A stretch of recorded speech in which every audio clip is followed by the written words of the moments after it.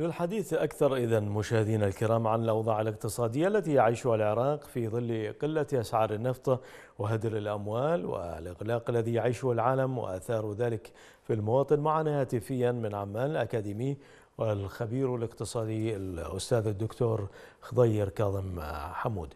إذا أستاذ خضير اللجنة الاقتصادية البرلمانية أكدت أن على الحكومة أن الحكومة قد تعجز عن تأمين رواتب الموظفين في شهر حزيران المقبل. هكذا توقعت. إذا كانت حجة الحكومة هي قلة أسعار النفط إذا أين العقود الآجلة التي باعت بها النفط؟ بسم الله الرحمن الرحيم. الحقيقة لم يعد خافيا على أحد ما يعانيه الشعب العراقي من جراء الحكومات المتردية التي جاءت بعد الاحتلال في 2003 ولحد اليوم. آه، إنها حكومات لم يكن همها تحقيق أهداف الشعب العراقي وإنما الانصياع إلى الارتباطات الخارجية والإقليمية الذين ينتمون إليها.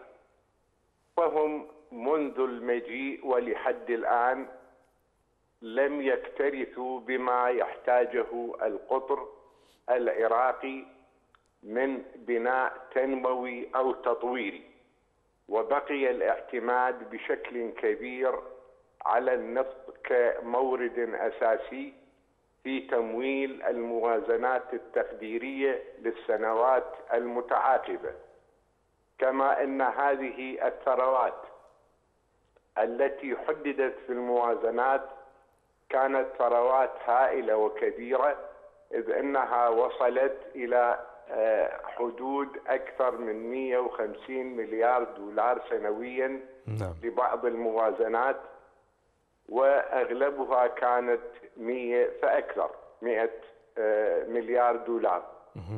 إلا أن هذه الأموال التي استطاعت أن تحصل عليها الحكومات والتي تتجاوز التريليون دولار طيلة هذه الفترة هدرت في مآرب شخصية وارتباطات آه، مع قوى ليست لها أي رغبة في إنقاذ العراق مما يعيشه من ترد واضح في المستوى الاقتصادي والاجتماعي والخدمي وإنما كان الهم الأكثر لها تحقيق المآرب الشخصية والارتباطات مع القوى الخارجية وخصوصا دولة إيران. نعم. ثم إنهم في تعاملهم مع الشعب العراقي كانوا يدعون بأنهم حركات إسلامية ومرتبطة بآل البيت بشكل خاص والشعب العراقي باعتباره شعب مؤمن فكان يصدق ما قيل ما يقال له من هؤلاء. نعم. ولذلك تنطبق عليهم ما أشار إليه الله سبحانه وتعالى بقوله يخادعون بسم الله الرحمن الرحيم يخادعون الله والذين آمنوا وما يخدعون إلا أنفسهم, أنفسهم وما يشعرون نعم.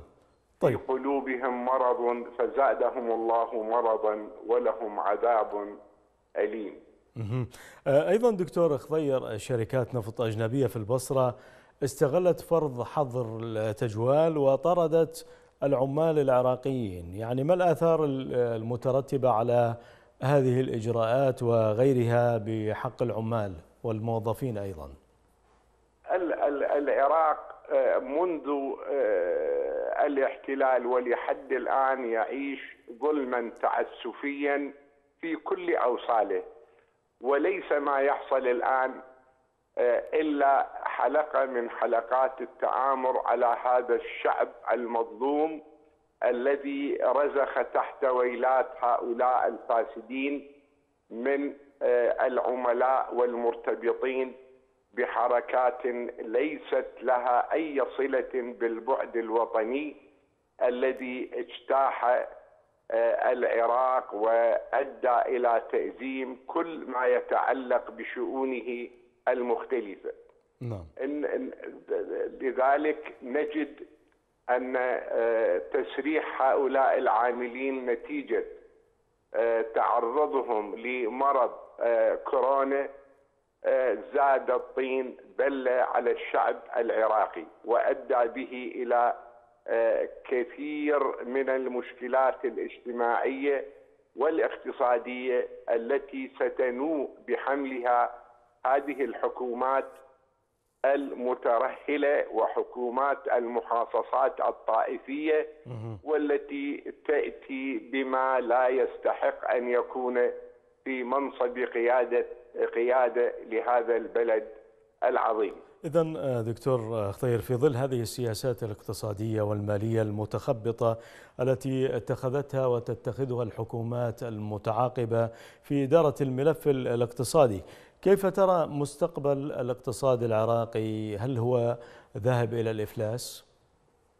بالتأكيد هذه الحالة ستكون حالة قائمة حتما في ظل آه، ما نراه من فساد كبير في مختلف جوانب الحياة الاقتصادية في العراق واستحواذ المحاصصات آه، بين القوى التي تتحكم برقاب العراقيين وليس الأمر ببعيد على أن يتم إفلاس آه، الاقتصاد العراقي أو بالأحرى سيؤدى ستؤدي هذه الحكومات إلى الكثير من الاقتراض من صندوق النقد الدولي أو البنك الدولي نعم.